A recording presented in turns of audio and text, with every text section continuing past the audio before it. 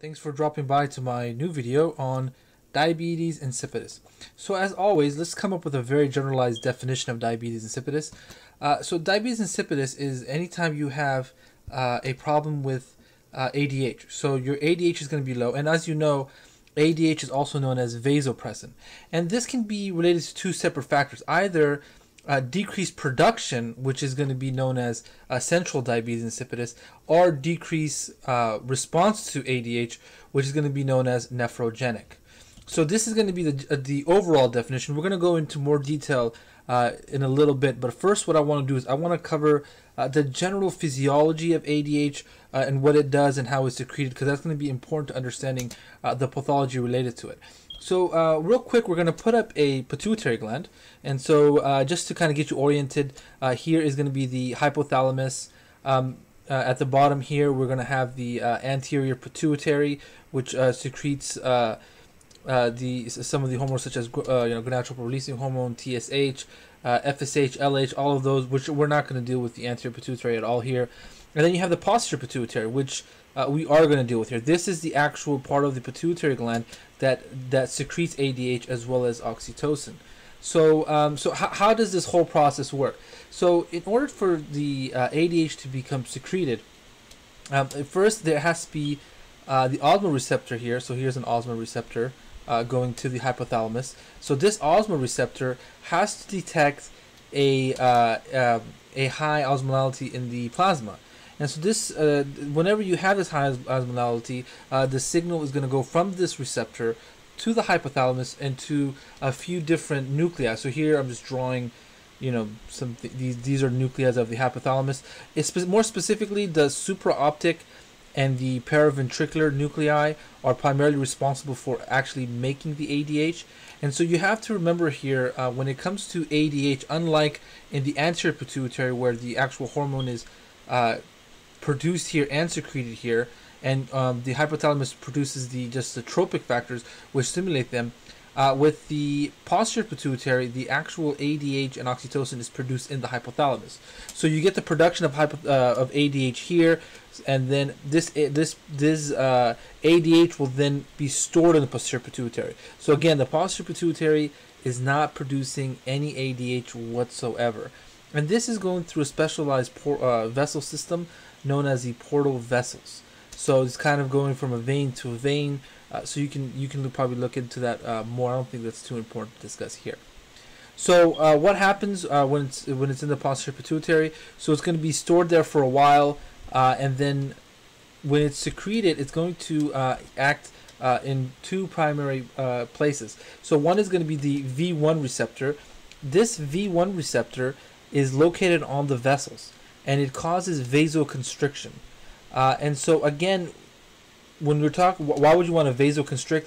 Again, if your if your osmolarity is high, uh, there could be many different factors that can cause that. One of them is uh, low volume, uh, so you're losing water for whatever reason, and so oftentimes that can also lead to a low blood pressure. And so this this is why the ADH is also going to stimulate some vasoconstriction just in case there is some uh, blood pressure issues because your body definitely wants to maintain that uh, blood pressure as much as it can. And so what the ADH is also going to stimulate is going to be the V2 receptors which are located right here. So uh, how does the V2 um, receptors work? And this is going to be our prim primary uh, focus here. So here we have the uh, nephron here. Uh, you have the glomerulus, uh, proximal convoluted tubule, loop of Henle, distal convoluted tubule, and the collecting ducts. So uh, as you know, as you're probably aware, the collecting ducts has uh, you know a number of cells here, uh, which I'm drawing here, and um, among those cells is you have the principal cells. And so what I'm going to do is I'm going to draw a principal cell here, and this principal cell is where the site of action of ADH is. So um, within this uh, principal cell, uh, so here, real quick, this is the lumen, so this is where the urine is going, and this side is the blood. So on this side is where the urine is going to eventually leave, and on this side is where you're going to have the uh, uh, blood. Uh, so anything that comes here is going to be considered reabsorbed. Everything here is going to be considered uh, as, as gone into the urine. Okay, so what do we have inside of these uh, principal cells? Well, we have these vesicles that are lined with little, you can say, channels. And these channels are called the aquaporin 2 channels, and that's what's the green dot here. So these are all aquaporin 2 channels. Now what happens is ADH comes in from the blood, it goes into the cell, and it's going to activate that vesicle. And what's going to happen is the vesicle is going to go out to the membrane of the luminal side of the cell, and it's going to insert those aquaporin 2 channels right inside to the lumen. Now, as soon as that occurs, water is going to rush in from the lumen inside the cell and from the cell in, towards the I guess interstitial and then the blood to be more accurate. And so why would it I mean this isn't a pump by the way this is a channel. So why would it get why, would it tend to do that? Again it's going to go down the uh, osmotic gradient or, or it's going to go through uh, from the low concentration to the sorry from the high concentration of water to the lower concentration of water. So what causes that? Well again if you go back up here in the loop of Henle uh, you have the medullary area which has a high osmolality which in other words means a very low water concentration. And so, uh, what creates this high, and this osmolality goes as high as 1200 at times. And what creates this high osmolality? Well, if you remember, at the uh, thick ascending loop of Henle, you have the sodium chloride uh, two potassium channel, which is always going to be pumping the solutes in, creating that high osmolarity. And so, when you have that osmolarity, as the water rushes in uh, rushes through the collecting tubules, it's going to rush into the interstitium and eventually get back into the blood flow. And so, uh, what you're going to end up with, uh, with, with all of the uh, water uh, rushing in, is your urine osmolality is going to steadily increase. So your urine osmolality increases, and you can. And just as a side note, uh, you cannot increase your urine osmolality greater than 500 without ADH. So this is this is a very important mechanism for your body to maintain a high urine osmolality. Probably uh, the most important, uh, I would say.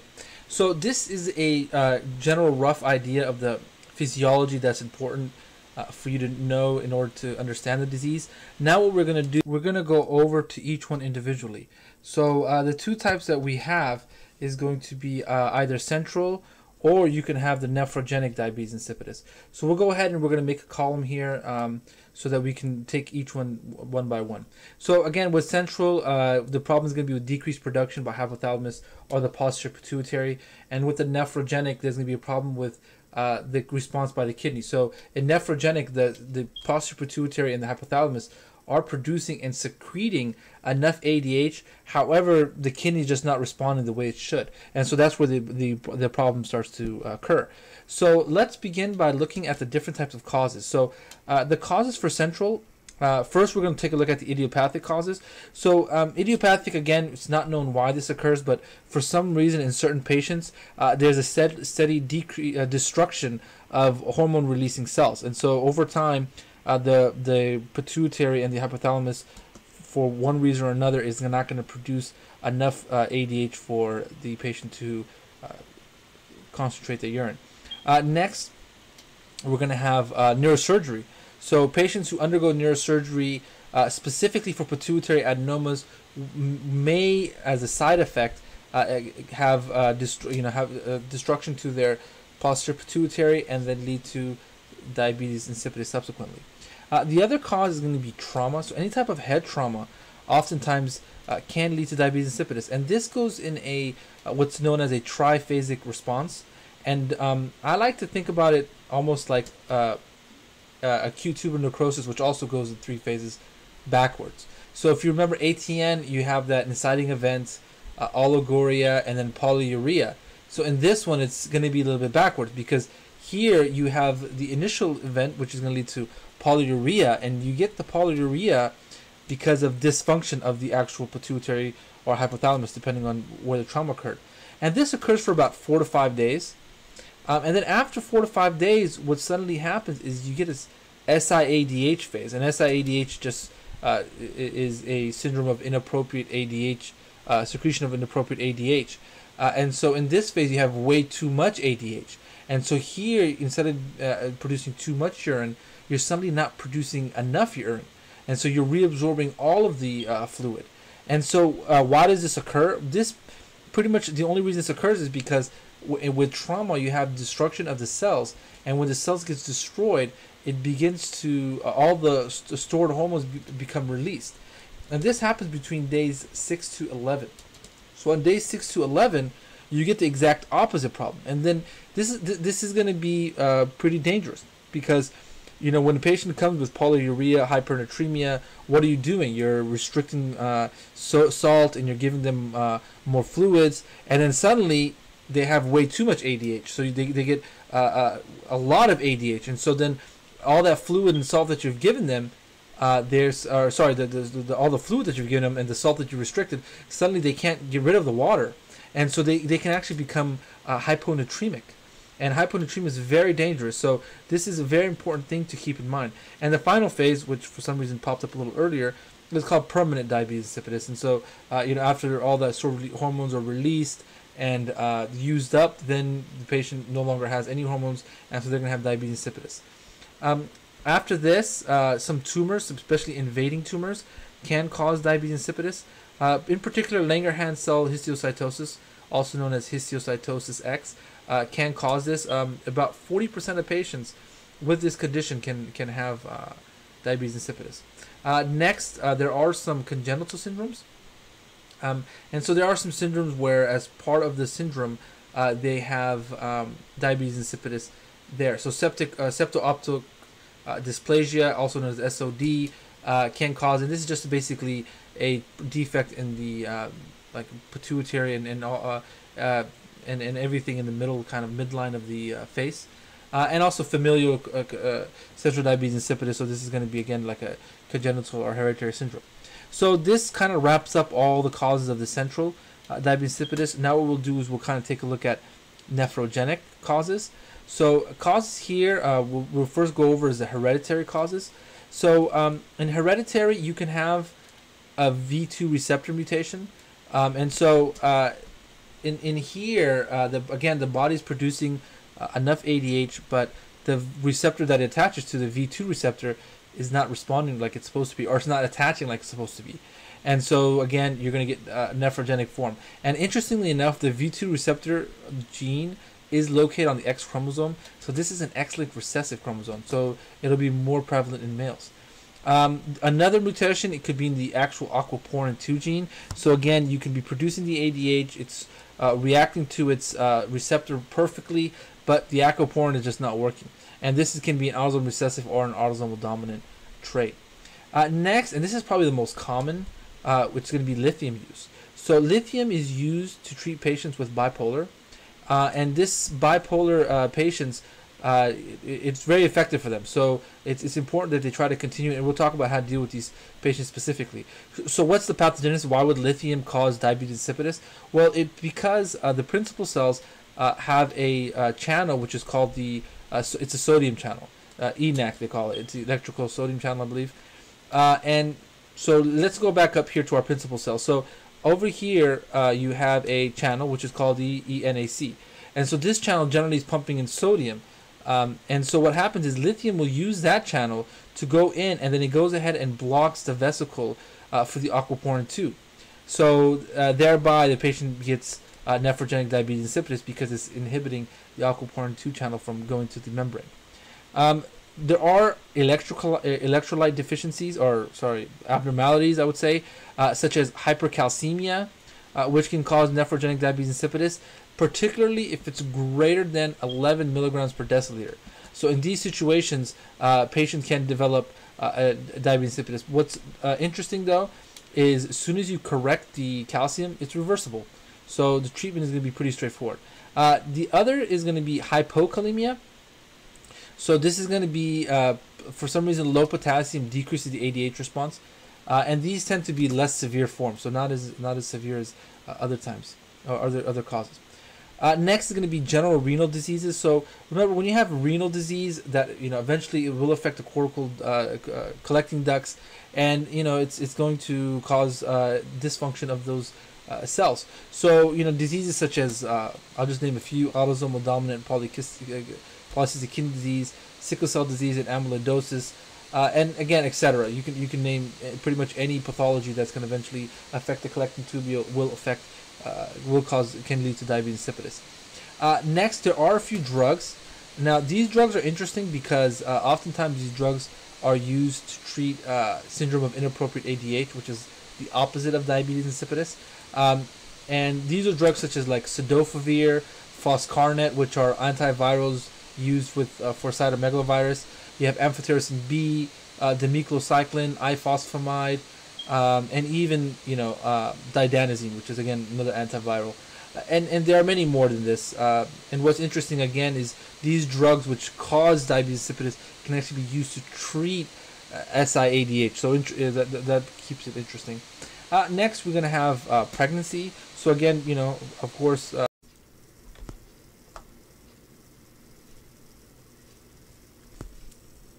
so many pregnant patients uh, are. So many pregnant women, you know, they have the usual complaint of polyuria, and one of the reasons for that is going to be that the fact that when you're pregnant, you do have a sort of decreased response to ADH by the kidneys. So uh, we've that kind of wraps up the discussion about causes. Now what we'll do is we'll go ahead and we'll start talking about symptoms. Now the symptoms um, are going to be the same whether you're dealing with a, a central diabetes insipidus or nephrogenic, uh, nephrogenic diabetes insipidus. So here they overlap. So the way I'm going to draw this is going to be uh, in the middle. And so what are the three primary symptoms you're going to see? It's going to be polyuria, which means too much urination, polydipsia, which means uh, excessive thirst or drinking too much water, and finally uh, nocturia. And of course, nocturia is kind of similar to polyuria.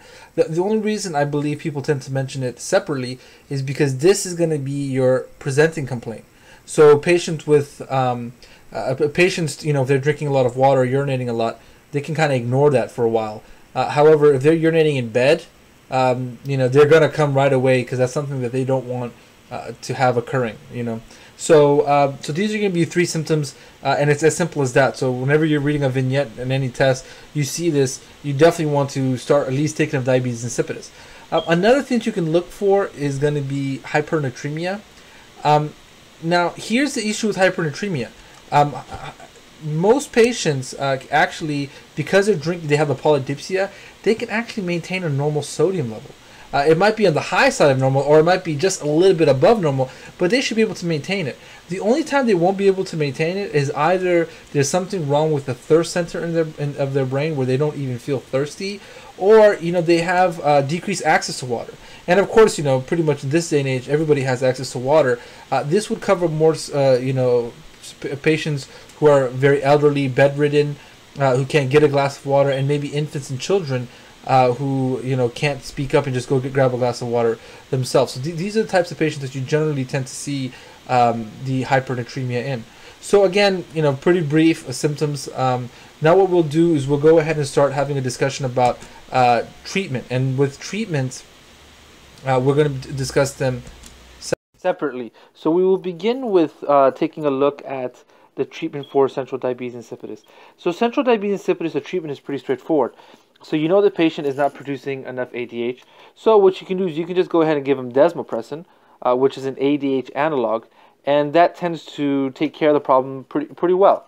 Uh, there are some other drugs that you might, may want to use depending on other comorbidities that the patient may have. This could be like chloropropamide, which is going to be used for uh, diabetes mellitus. Um, you can also use carbamazepine, uh, anti-seizure, uh, clofibrate, which is going to be anti-hyperlipidemic, and you can use NSAIDs. And so the mechanism of action is with chlorpropamide and uh, carbamazepine, it increases the responsiveness uh, for ADH. Uh, clofibrate actually increases the secretion of ADH. And interestingly enough, uh, prostaglandins uh, is actually an ADH antagonist. So by giving NSAID, you decrease the amount of prostaglandins, which is going to decrease the uh, antagonism of ADH. So that, was a, that was an interesting point that I discovered recently, actually. Um, finally, what you also want to do is you want to put the patient on a special diet, a what's called what's known as a low solute diet. Low solute diet consists of a diet of low sodium and low protein. So why would you want to do this? So, so to understand this uh, theoretically, uh, you have to understand that patients with diabetes insipidus have a fixed urine osmolality. So, you know, they cannot increase their uh, uh, urine osmolality over a given point. So, for example, let's just say there's a patient, uh, he has diabetes mellitus, and he can't increase his urine osmolality above 150. So, if this patient um, has a, let's just say, uh, a plasma osmolality of 750, it requires 5 liters of urine to bring it back down to normal or, or to, to get rid of the, all that excess solute. On the other hand, if that same patient has uh, a, plasma, a plasma, plasma osmolality of 450, then only 3 liters of urine is required to remove that excess solute.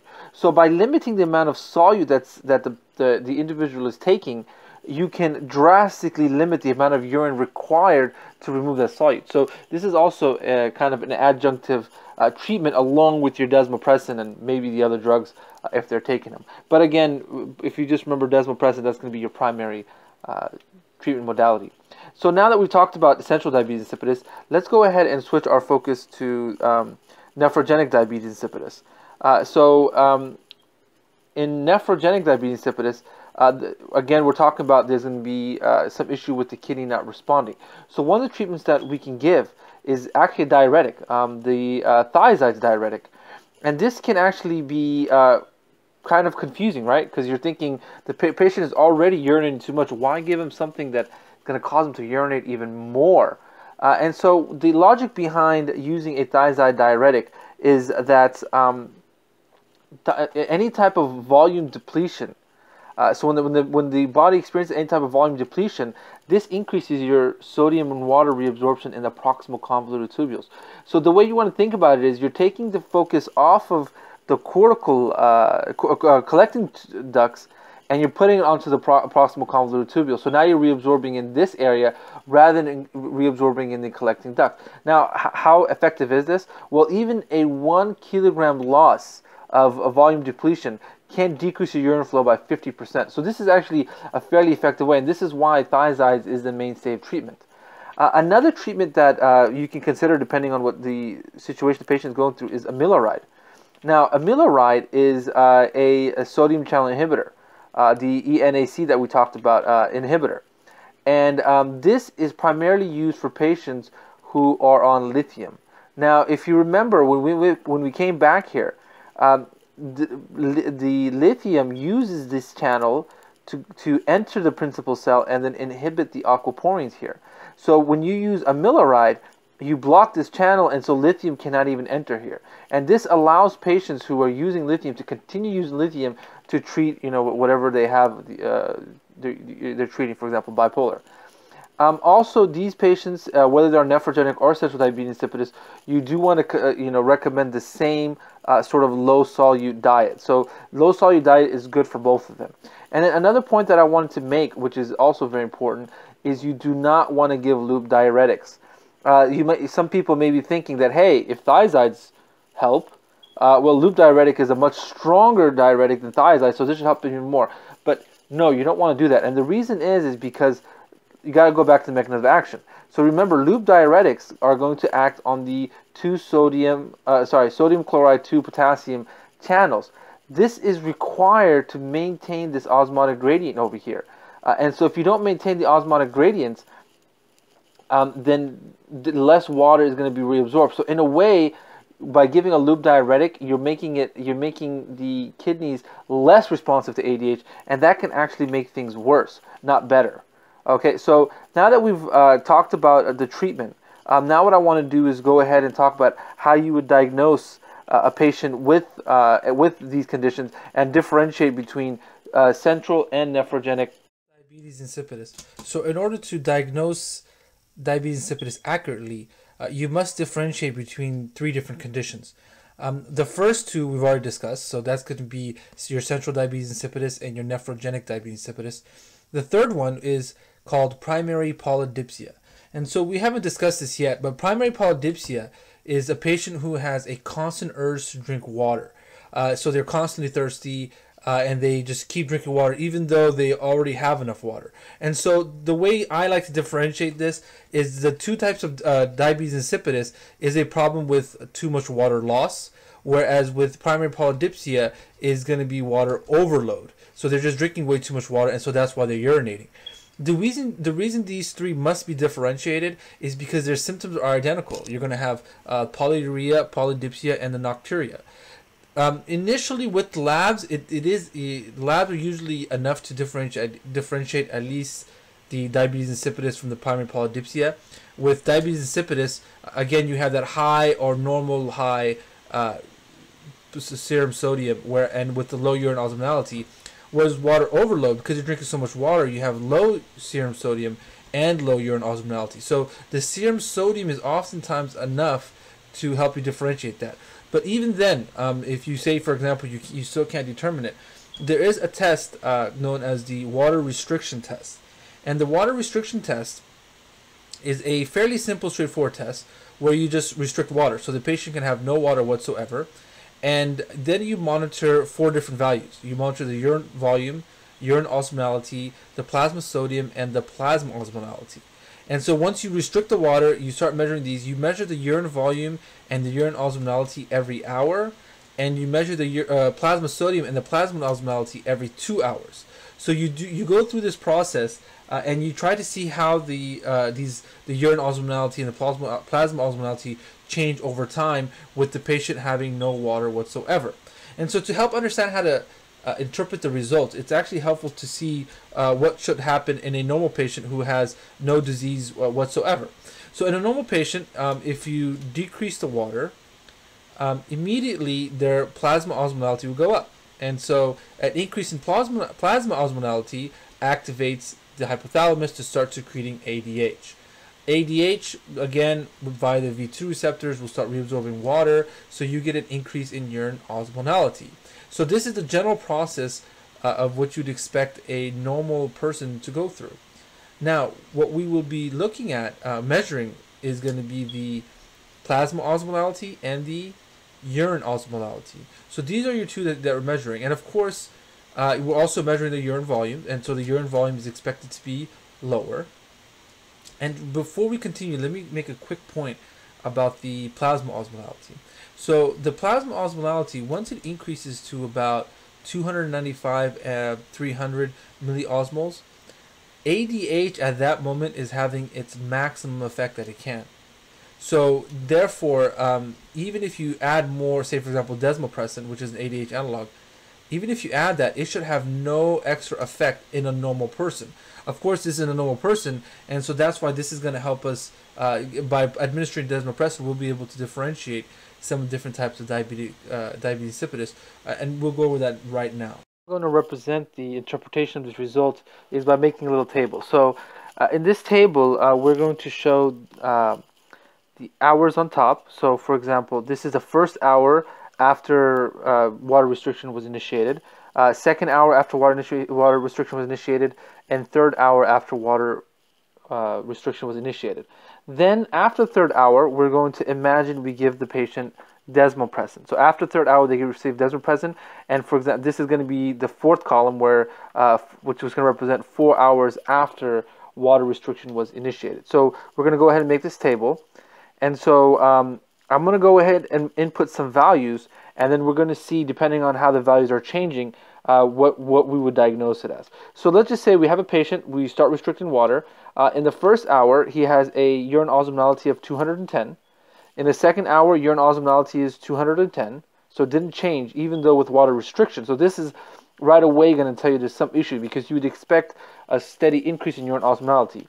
Uh, in the third hour, uh, only 210, which is very small. Um, and so we've noticed that there's very little, if any, increase in urine osmolality, even though the patient uh, is being water restricted. And so then we go ahead, we'll give them the desmopressin, and let's calculate, let's see what the urine osmolality is then. So let's just say it bumps up to 570. So there's a drastic change after desmopressin. So the change is very high, right? Almost more than uh, greater than 100%.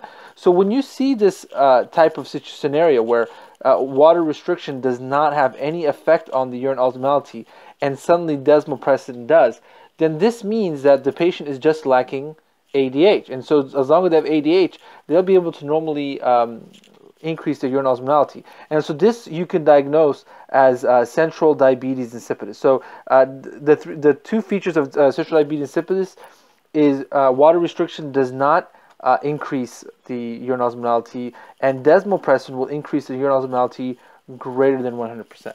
So that's going to be for central diabetes insipidus. Now let's take another scenario. Uh, same thing. So you got 210, 210, 220. So again, we're seeing, wait a minute, the patient is not able to increase the urine osmolality. Then you give them desmopressin, and let's just see what happens.